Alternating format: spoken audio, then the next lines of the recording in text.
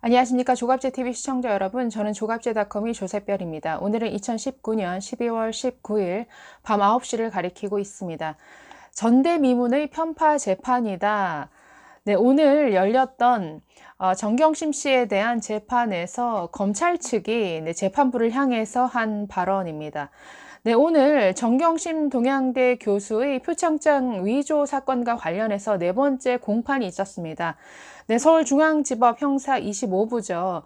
어, 재판장은 송인권 판사입니다.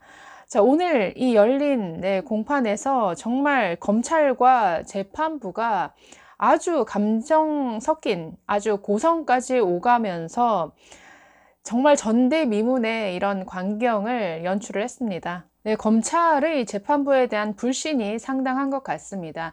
그도 그럴 것이 지난 12월 10일 어, 정경심 씨에 대한 공소장 변경 요청을 법원이 받아들이지 않았죠. 네, 사실 정경심 씨가 표창장을 위조했다라는 이 범죄 사실은 하나인데 법원은 이 사건이 동일하지 않다라고 본 것이고 검찰은 네, 디테일에서의 어떤 변경은 있지만 이 사건은 동일한 사건이다. 그렇기 때문에 네, 공소 사실 변경을 허락해 달라라고 요청을 한 것인데 법원이 받아들이지 않았습니다.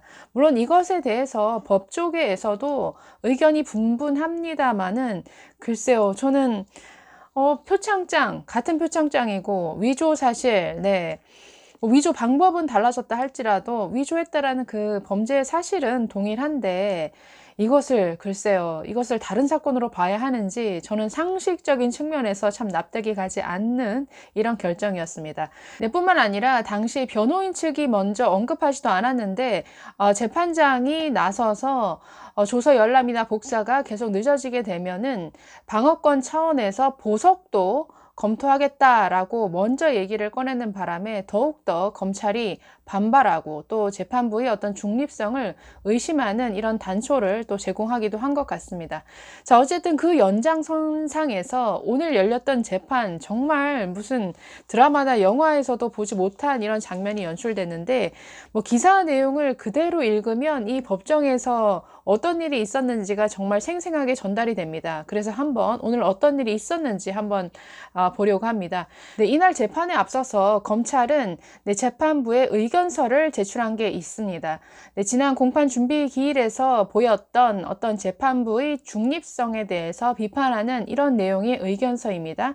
자, 그래서 오늘 이 재판 시작과 동시에 재판부는 이렇게 얘기를 합니다. 검찰 측으로부터 어떤 재판부의 예단과 중립성에 대해 지적한 내용의 의견서를 받았다라고 언급을 하면서 이렇게 얘기를 했습니다. 이런 지적을 받았다는 자체가 아, 중요한 문제라고 생각한다. 재판부 입장에서 검찰 의견서를 계기로 재판 중립에 대해서 되돌아보도록 하겠다라고 말을 했습니다. 자, 이렇게 얘기를 하고 재판부는 재판을 서둘러 진행하려고 하는데 자, 검찰이 공판 조서 기록을 가지고 문제 제기를 합니다. 자, 지난 10일 그 공소장 변경 신청을 받아들이지 않았는데 당시 검찰은 이의 제기를 했죠. 자, 그런데 공판 조서에는 이 재판부가 어떻게 기록을 했냐면 별다른 의견이 없다는 취지로 이렇게 뭐 내용을 잘못 기재를 했습니다. 네, 그래서 당시 검찰이 이의 제기한 내용이 공판 조서에서 누락되었다라는 이런 지적에 대해서 뭐 이 지적 자체는 맞는 문제 제기니까 재판부로서는 당연히 뭐 수정하겠다라고 말할 수밖에 없는 것이죠. 자, 그래서 수정하겠다라고 했습니다. 그런데 또 이렇게 한마디 또 더 붙입니다. 재판부가. 조서의 모든 내용을 다 기재할 수는 없다. 공소장 변경에 대해 법원이 허가하지 않았다라는 내용이고 검사가 이 신청을 했음에도 불구하고 받아들이지 않은 것은 사실이다.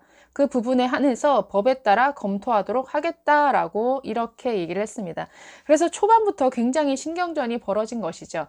자, 그래서 또 이제 진행을 하려고 하는데 이때부터 본격 싸움이 또 시작이 됩니다. 자, 검찰은 이런 문제 제기를 합니다. 왜 의견서를 제출했으면 그 의견서를 진술할 발언 기회를 줘야 되는데 왜 주지 않습니까? 라고 강하게 네, 문제 제기를 합니다.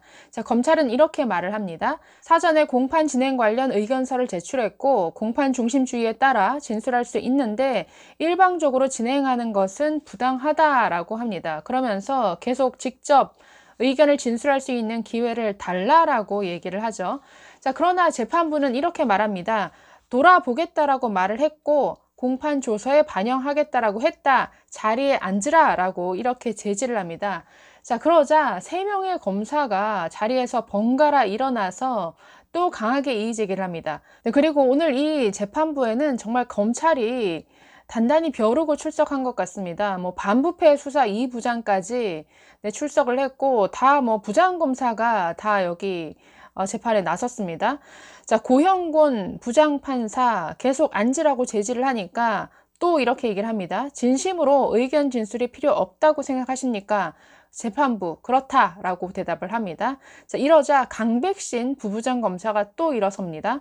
이 소송 지휘에 이의를 제기합니다. 라고 이렇게 얘기를 하니까 재판부는 또 말을 끊으면서 기각하겠다라고 이렇게 답을 했습니다. 네, 검찰 또 얘기합니다. 무슨 내용의 이의 제기인지 듣지도 않느냐라고 항의를 하자 재판부는 또 앉으라라고 이렇게 제시를 합니다. 그래서 이후로도 재판이 진행되는 내내 네, 수시로 검찰이 이의를 제기하고 재판부가 이것을 끊어내는 이런 상황이 계속 이어졌습니다. 네, 검찰의 반발은 계속 이어졌습니다.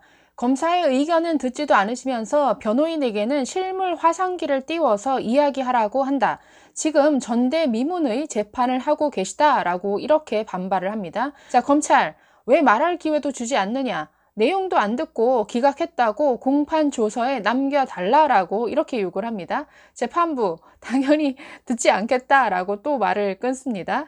그러면서 이의 제기한 검사에게 검사님 이름이 뭐냐라고 이렇게 다그치듯 어, 묻는 이런 장면이 연출이 되고 또 누구누구 검사입니다. 얘기를 하고 나서 앉으세요. 이렇게 또 제지를 어, 했다라고 합니다. 네, 이날 검찰은 수사 기록에 대한 열람 복사를 두고도 또 변호인 측과 부딪히기도 했습니다. 자, 검찰은 변호인단이 어, 정경심 씨에 대한 보석을 노리고 사건 기록을 일부러 천천히 복사하고 있다고 이렇게 주장을 했습니다. 네, 지난 10일 그 공소장 변경 요청을 거부했을 때 재판부 이렇게 얘기를 했었죠. 기록 복사가 이번 주까지 이루어지지 않으면 보석 청구를 검토할 수 있다라고 이렇게 발언을 했는데 이것을 염두에 두고 문제 제기한 것 아니냐라는 이런 지적도 있습니다. 자, 이에 대해 변호인 측은 이렇게 어, 답변을 했습니다. 수사량이 방대하고 개인정보 등을 삭제한 뒤 그걸 다시 검사가 검토하는 과정을 거치면서 시간이 지연된 것이다. 검찰이 사건 당사자의 묵비권 행사를 증거 인멸이나 증거 조작 가능성이 있다는 구실로 수사 기록을 늦게 준 것이 원인이다라고 이렇게 반박했습니다. 네, 검찰과 변호인단의 갈등 계속 이렇게 공방이 이어졌습니다. 정경심 측 어, 변호사 이렇게 얘기를 합니다. 검사 모두가 오늘 재판장이 발언 기회를 주지 않았음에도 일방적으로 발언하고 있다. 어, 30년간 재판을 해봤지만 어, 오늘 같은 재판 진행은 보지 못했다라고 얘기를 했습니다. 자, 이에 대해 검찰도 가만히 있지 않았죠. 고형곤 부장검사 이렇게 반박합니다. 지금 변호인은 소송 수행과 관련해 어, 발언 기회를 얻었지 저희를 비난할 기회를 얻은 것이 아니다. 저희도 재판장이 이렇게 검찰 의견을 받아주지 않는 재판을 본 적이 없다라고 또 맞받아쳤습니다. 자, 어쨌든 오늘 벌어진 이런 일을 보고 있으면 이 검찰의 재판부에 대한 불신이 상당한 것으로 보입니다. 전대미문의 재판이다라는 표현이 양측에서부터 나왔는데 사실 이 조국 사태가 진행되면서 전대미문의 일이 한두 가지가 아니었죠. 그런데 사실 뭐 검찰이 이 재판부에 대해서 이런 불신을 가지는 것도 사실 뭐 이상하지가 않습니다. 우리가 뭐 뒤돌아서 생각을 해보면, 어, 조국 장관 동생, 에 대한 어떤 그 구속영장을 처음 기각할 때 명재권 판사 정말 누구도 납득할 수 없는 이유를 들어서 기각했죠. 네, 뿐만 아니라 조국 그리고 정경심 씨에 대한 뭐 계좌라든가 휴대폰 압수수색 번번이 네, 기각됐습니다. 아직까지도 네, 조국 전 법무부 장관의 휴대폰에 대한 압수 네, 이루어지지 못하고 있습니다. 네, 그래서 앞으로도 조국 그리고 정경심 씨에 대한 모든 재판 과정에서 이 재판부의 어떤 공정성에 대해서 편파성에 대해서 뭔가 문제 제기는 계속 잇따를 것 같습니다. 네, 현재 검찰은 지난번 공소장 변경 불허 방침에 따라서 어, 첫 번째 기소된 사건에 대해서 공소 취하를 할 것으로 예상을 했는데 네, 뜻밖에도 네, 공소장을 변경해서 추가 기소하는 이런 방법을 선택했습니다. 자, 그래서 추가 기소해서 지금 같은 사건에 대해서 재판이 지금 두 갈래로 지금 진행이 된다라는 것이죠. 자, 그러면 어떻게 될까요? 지금 이 송재관 네, 판사가 진행하는 이 표창장 위조 사건은 무죄가 나올 확률이 높습니다. 왜냐하면 사건이 벌어진 일시 그리고 뭐 범행 방법이 다르기 때문에 네, 이것에 대해서 입증 당연히 못하겠죠. 왜냐하면은 네, 범행 어, 일시가 바뀌었고 장소가 바뀌었고 그리고 표창장 위조 방법도 어떤 직인을 임의로 날인한 것이 아니라 네, 컴퓨터로 어, 기존 표창장을 복사해서 네, 캡, 카피해서 갖다 붙이는 이런 위조 방식이었으니까 사실상 지금 첫 번째 기소된 이 사건에서의 네, 범죄 사실은 무죄로 나올 확률이 큽니다. 그럼에도 불구하고 무죄가 나오더라도 지금 검찰은 네, 계속 이렇게 진행하겠다라는 뜻입니다. 그리고 무죄 나와서 2심에 가서 어, 항소라는 방식을 통해서 재판부의 공소 어, 공소장 변경 불허가 뭔가 잘못됐다라는 것을 계속 어떤 지적하고자 하는 이런 전략을 취하는 것 같습니다. 네, 어쨌든 검찰과 재판부의 갈등은 앞으로도 네, 계속될 것 같습니다. 네, 감사합니다.